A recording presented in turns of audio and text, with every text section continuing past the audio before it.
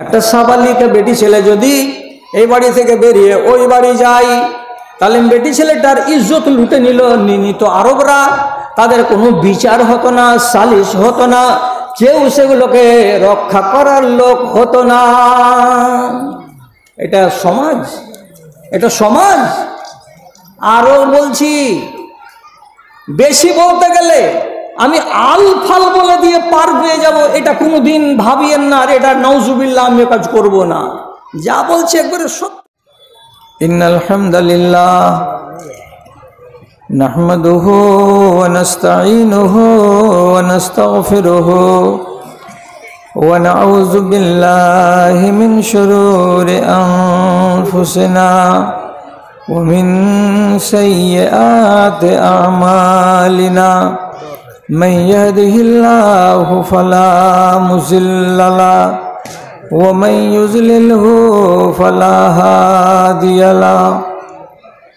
وأشهد أن لا إله إلا الله وحده لا شريك له وأشهد أن محمدا عبده ورسوله.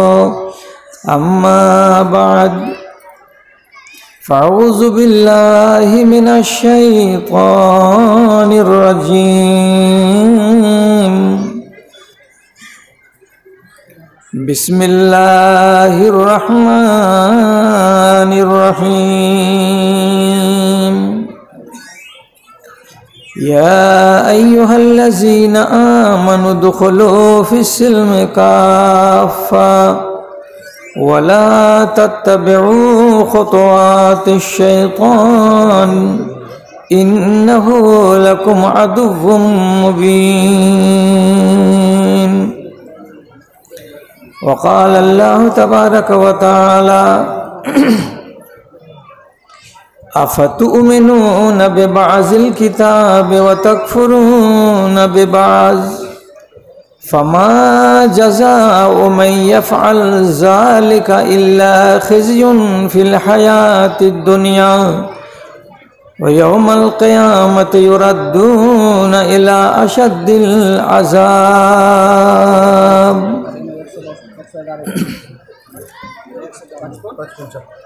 জীবন দুয়ারে জমেছে খাড়ো জীবন দুয়ারে জমেছে খাড়ো, আর এদিক ওদিক নয়। জোশ ছেড়ে দিয়ে, হোশ দিয়ে করো মনে অনুতা পার ভয়। মনে অনুতা পার ভয়। মনের খালি মাঠে বপন করো ধর্ম বীজ উঠে রাতে। আখেরাত দিনে নেকির ফসল যদি কাটিতে বাসনা থাকে। তবেই জীবন ধন্য হইবে নচেতওয়ান লেখয়। জীবন দুয়ারে জমেছে খাড়ো, আর এদিক ওদিক নয়। কালো কেশ যত সাদা হয়ে গেছে, চামড়া গিয়েছে ঝুলে। শক্ত জিনিস চিবাতে পারো না, সব দাঁত পড়েছে খুলে, সব দাঁত পড়েছে খুলে। দর্পণে এবার আল্লাহকে আঁকো, দর্পণে এবার আল্লাহকে আঁকো, তুমি পরকালে পাবে জয়। জীবন দুয়ারে জমেছে খাড়ো, আর এদিক ওদিক নয় জোশ ছেড়ে দিয়ে, হোশ দিয়ে করো, মনে অনুতা পার ভয়। মনে অনুতা পার ভয়।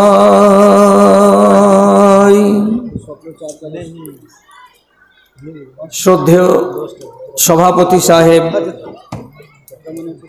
সমবেত এই এলাকার বিভিন্ন প্রান্ত থেকে মাদ্রাসার ভালোবাসা, মাদ্রাসার মোহাব্বত বুকে নিয়ে এবং দিনের দরদকে সাথে নিয়ে আগত বিভিন্ন শ্রেণির বিভিন্ন স্তরের আমার ভাই ও বাবা জীবনেরা, সেই সাথে মজলিসের এক পার্শ্বে আড়ালে বসে থাকা অবলা সরলা স্নেহের মা এবং বোনেরা আল্লাহর হাজার শুক্রিয়া আদায় করি যে দীর্ঘদিন বাদে আবার আপনাদের সামনে এসেছি, আসতে পেরেছি।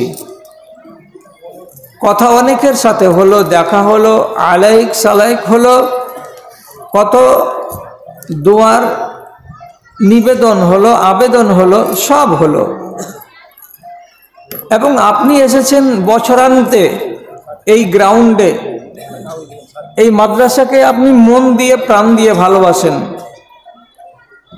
তাকে আর্থিকভাবে স্বাবলম্বী করে তুলবেন এবং কিছু দিন ও ইমানের কথা শুনে নিজের মর্মের মরিচিকাকে দূরীভূত করবেন এবং অন্তত আপনি নিজেকে আখেরাত মুখী করে তুলবেন। এইরকম নেক বাসনা নিয়ে বাড়ি থেকে এসেছেন, ব্যস্ত জীবনের ব্যস্ততাকে ভুলে এবং সুখের নিদ্রাকে, বিছানাকে ত্যাগ করে, কষ্টকে হজম করে এই ময়দানে। আল্লাহ আমাদের উভয় পক্ষের মেহনতকে ইনশাআল্লাহ কবুল করবেন, এটা আমরা আশা রাখি।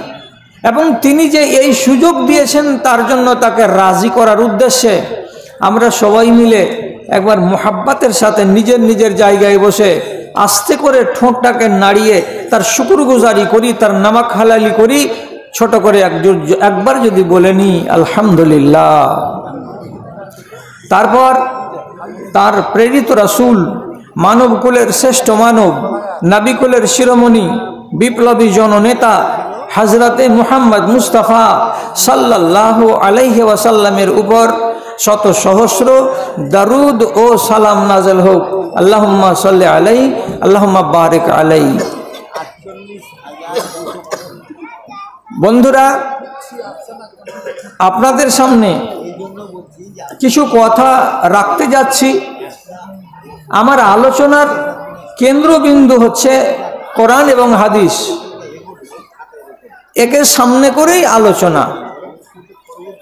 প্রথমে যে আয়াতটি পড়েছি, তাতে আল্লাহ রব্বুল আলমিন সকল মোমেনিনকে বলেছেন, তোমরা ইসলামের ভেতরে থাকো, তো পূর্ণাঙ্গ ইসলামের মধ্যে থাকো। শয়তানের অনুসরণ করো না। আল্লাহ এটাকে পছন্দ করেন না, যে নাম হবে আব্দুর রহমান, আর সে করবে ইবলিশের ইতাত আল্লাহ রবুল আলমিন এটাকে জঘন্য মনে করেন এবং অপছন্দ মনে করেন। অন্য একটি আয়াত যেটা পড়েছি, তার মর্ম হল, তোমরা কি আল্লাহর বিধানের কিছু মানবে?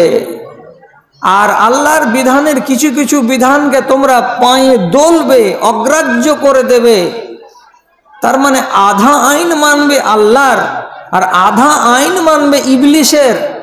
এই রকম করে তোমরা মুসলমান হয়ে থাকতে চাইছ? এই রকম করলে মুসলমান হবে না। দুনিয়াতে যতদিন বাঁচবে, তোমাদের মতো মানুষগুলোকে বলা হবে আইনের দিক দিয়ে দোগলা। এবং যারা হবে দোগলা, তারা দুনিয়াতেও সুখী হবে না এবং আখেরাতেও সুখী হবে না। আল্লাহ তালা পরিষ্কার বলে দিচ্ছেন, ওদেরকে কেয়ামতের দিন ধাক্কা দিয়ে জাহান নামে ভরে দেওয়া হবে। আর যতদিন দুনিয়াতে বেঁচে থাকবে, ততদিন তারা ভিজা ছাগলের মতো, বৃষ্টিতে ভিজে যাওয়া বকরির মতো জড়ো সড়ো হয়ে বাঁচবে। বুক উঁচা করে বাঁচবে না, চোখ উঁচিয়ে কথা বলবে, ওই বুকের পাটা থাকবে না। একদম নরম হয়ে, নিরীহ হয়ে, মজলুম হয়ে দুনিয়াতে বেঁচে থাকবে। আর দুনিয়ার এই জিন্দগি গত করার পর আখেরাতে আজাবের সম্মুখীন হবে। কারা? যারা দোগলা তারা। আপনি বলবেন, দোগলা তো মুলি সাহেব, আমরা এগুলোকে বলি না। আপনি যাকে বলেন বলেন। আমি বলছি, আইনকে মান্যতা দেওয়ার দিক দিয়ে কেউ যদি আধা ইবলিশের আইন মানে আর আধা আল্লাহর আইন মানে এরা হলো দোমুখ মুসলমান। আর দোমুখ মুসলমানকেই বলা হয় দেশওয়ালি বাংলাতে দোগলা। এদের পরিণাম ভালো হবে না। আপনি কি বলতে চাইছেন? সাড়ে চোদ্দশো বছর আগে মানুষ যেমন কেঁদেছিল, চোখের পানি ঝরিয়ে ঝরিয়ে আসমানের দিকে তাকাতো আর বলতো, আরে কেউ আছো উপরে? কেউ আছো উপরে? শুনেছি লোকের মুখে। কে নাকি একজন উপরে আছো? আরে আমাদের উপরে দয়া করো না। আমরা যে মরে গেলাম, আমরা যে জুলুমের শিকার, আমরা যে নির্যাতনের শিকার, আমরা কোনো জায়গাতে গিয়ে শান্তি পাই না। আমাদের জীবনটা যে দুঃখে ভরে গেছে তুমি কে আছো উপরে? অর্থাৎ তারা ইশারা করে করে আল্লাহকেই বলতো, আরে দয়া নামাও আসমানের উপরে না হলে আমরা সব শেষ হয়ে গেলাম। জাহেলিয়াতের যুগে আইন কিছু ছিল না। আপনি কি জাহেলিয়াতকে ফিরিয়ে আনতে চাইছেন? আবার ওই সাড়ে চোদ্দশো বছর আগেকার গুমরাহিকে টেনে আনতে চাইছেন? ইসলামই এলো সুখ দিতে, মানুষের চোখের পানি মুছে দিল। ত্রাহি ত্রাহি রব ছিল। সেটাতে আল্লাহ তালা রহমত ঢেলে দিলেন। মানুষ সুখী হলো। সুখের জিন্দগি কাটাতে লাগল ইসলামকে পেয়ে। আবার এই মুসলমানেরা এই সাড়ে চোদ্দশো বছর পরে আল্লাহর আইনকে বুড়ো আঙুল দেখিয়ে ফের ডেকে আনছে কাকে? জাহেলিয়াতকে। তার মানে কি? সুখে খেলে ভূতে কিলায় না? আবার ফিরে যাবে ওই লাঞ্ছনার জগতে, আবার ফিরে যাবে তোমরা ওই গঞ্জনার জগতে, আবার তোমরা কাঁদবে, আবার তোমরা দেশে অশান্তি ডেকে আনবে। তার জন্য তোমরা আল্লাহর কোরআনকে এইভাবে অগ্রাহ্য করে চলেছ। হে মুসলমান জাতি! কেন বললাম এতটি কথা? কেন বললাম? ভালো করে শুনেন। কথাগুলোকে এলোমেলো করিয়েন না, একটু লাইন করে কথা শুনেন। বাইতুল মোকাদ্দাস জয় হলো। মুসলমানেরা ওইখানকার খাজেনকে বলল, চাবি দাও মসজিদের। খাজেন বলছে, তোমার মতো লোকের হাতে চাবি দেওয়ার কথা নেই। যেই লোকটার হাতে চাবি তুলে দেওয়ার কথা আমরা জানি, সেই লোকটা এখনও আসেনি। তিনি কে? তিনি হজরত উমার রাজিয়াল্লাহ তালানহ খবর এলো মদিনাই আমরা দেশ জয় করে নিয়েছি। বাইতুল মোকাদ্দাসের চাবি চাইছি। তো বলছে, তুমি চাবির হকদার নও। চাবি যেই লোকটাকে দেব, সেই লোকটাকে চোখে দেখতে পাই না। তাই খালিফাতুল মুসলিমিন, আপনি আসুন, এসে বলুন যে হ্যাঁ আমি হলাম মুসলমানদের আমির। দাও আমার হাতে চাবি দাও। হজরত উমার মদিনা থেকে রওয়ানা হলেন নিজের গোলামকে সাথে নিয়ে। একটা উঠ সারাটা ইসলামী রাষ্ট্রের কর্ণধার আমিরুল মোমিনিন একটা উঠ নিয়ে বেরোলেন। এবার উটের লাগাম ধরে থাকছে চাকর। তো কেমনভাবে চলছেন? উমারের চরিত্রর দিকে তাকান। একটা উঠ এক মঞ্জিল বারো মাইল চলবে, চলার পরে বিশ্রাম নেবে। ওকে বিশ্রাম দিতে হবে। বিশ্রাম যখন উঠ নেবে, তখন উটের মালিকও বিশ্রাম নেবে। এই চলো এখান থেকে হাঁটো তো। কানের কাছে তোমরা এত কথা বলছো কেন?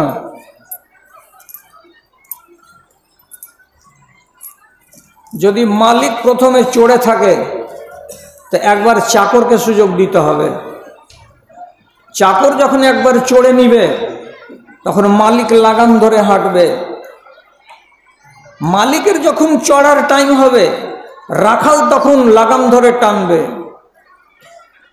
খালিফাতুল মুসলিমিন হাজরাত উমার এইভাবেই চলতে চলতে চলতে চলতে আট দিনের রাস্তা অতিক্রম করে বাইতুল মোকাদ্দাসে পৌঁছিলেন। বেশি আর দূর নাই। এইখান থেকে আর যদি দু কিলোমিটার যাই, তাহলে বাইতুল মোকাদ্দাস চলে আসবে। এক জায়গাতে বিশ্রাম নিলেন। বিশ্রাম নিলেন, তো এই জায়গাতে সাহাবিরা তাকে আগিয়ে নিয়ে যাবেন বলে এসেছেন। তো এবার বিশ্রামের পরে উঠে চড়ার পালিকার তার চাকরের, চাকর উঠে চড়ল। হাজরা তোমার এই রকম করে লাগাম ধরলেন, এবার হাঁটা শুরু করলেন, আর মাত্র ২০ মিনিটের মাথায় পৌঁছে যাবেন কোথায়? বাইতুল মুকাদ্দাসের মসজিদের কাছে। আর এই খালিফাতুল মুসলিমিন চাবি চাইবেন, হাত বাড়িয়ে দাও, চাবি দাও।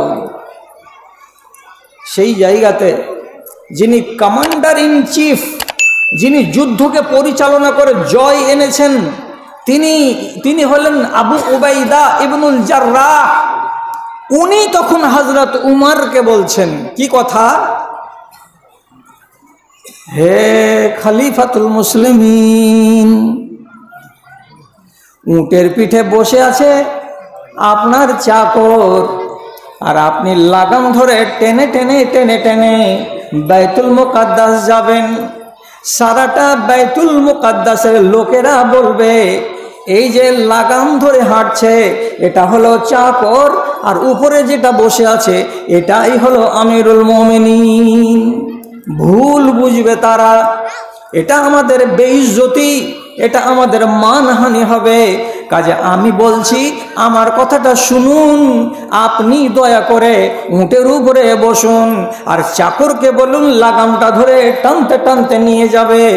আপনি বাইতুল মুকাদ্দাস মসজিদের কাছে নামবেন, তখন আমরা সবাই আল্লাহর তাকবীর দিয়ে আপনাকে উঁট থেকে নামিয়ে বলব, ইনি হলেন আমাদের খালিফাতুল মুসলিমিন। ইনি খালিফাতুল মুসলিমিন। আপনি উঠে চড়ুন আর গোলামকে নিচে নামান। গোলাম উঠ ধরে চলবে, লাগাম ধরে চলবে। আর আপনি ওখানে গিয়ে উঠ থেকে নামবেন।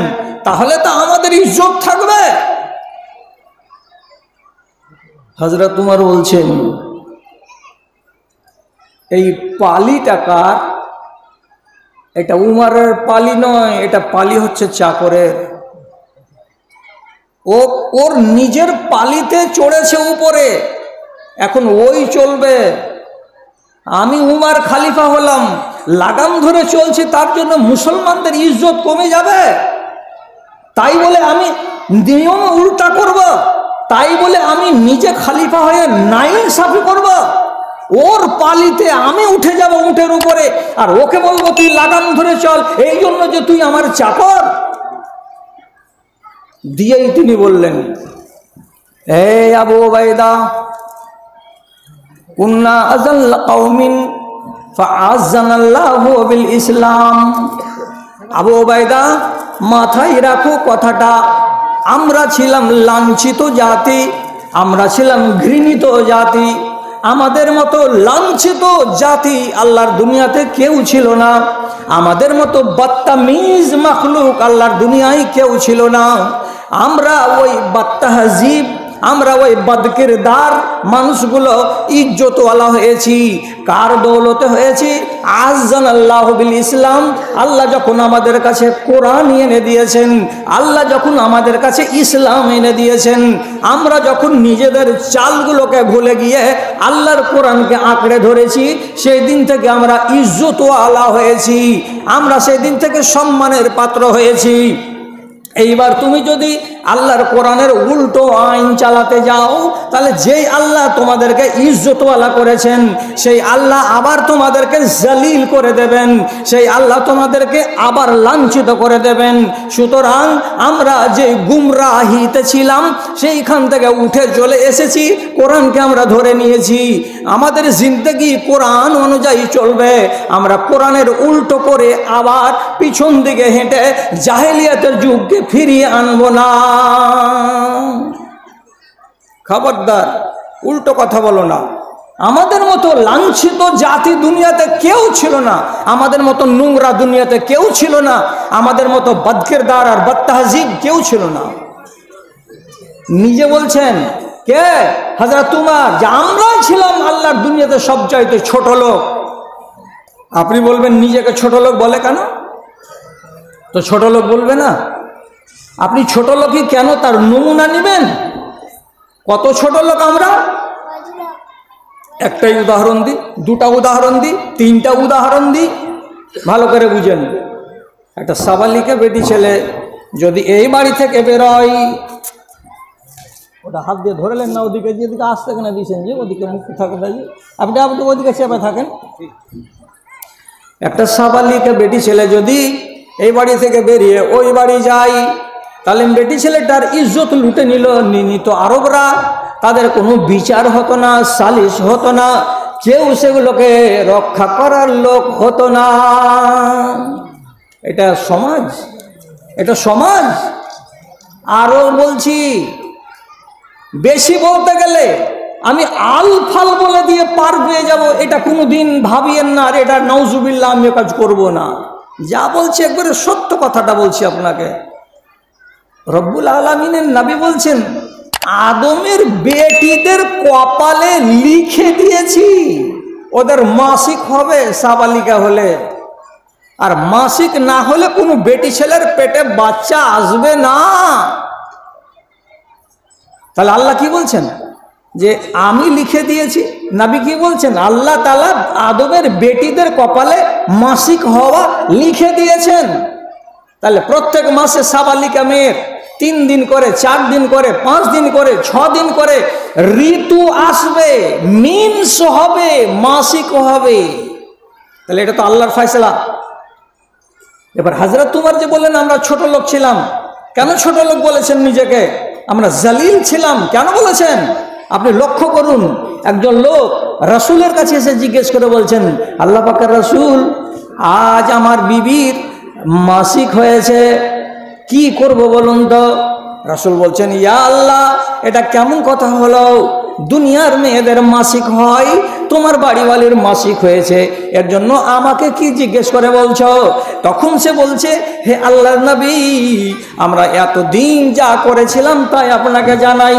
যদি রাতের বেলায় জানতে পেরেছি, আমার বাড়িওয়ালির মাসিক হয়েছে তাহলে বিছানা থেকে লাত মেরে আলাদা করে দিয়েছি। তাকে চকিতে জায়গা দিইনি, তাকে ল্যাপের ভেতরে আমরা রাখিনি। কেন রাখিনি? এই বেটি ছেলে, তুমি না পাক তোমাকে আমার কাছে থাকা চলবে না। অতএব তাকে ধিক্কার দিয়ে, অতএব তাকে লাঞ্ছনা দিয়ে আমরা বিছান থেকে আলাদা করে দিয়েছি। আমরা তাদের সম্মান দিতাম না। কয়দিন তো চার দিন কিংবা পাঁচ দিন। এখন যে জাত বদলে গেছে এখন যে মুসলমান হয়ে গেছি, তো মুসলমান হওয়ার পরে আবার যদি বেটি ছেলেটাকে ওইভাবে লাত মেরে বিছান থেকে আলাদা করি, মিনসের অবস্থায়, তাহলে কোরআন কি বলে? আমরা তো জীবন কোরআন অনুযায়ী কাটাবো। রাসুলকে জিজ্ঞেস হলো, রাসুল উত্তর দিচ্ছেন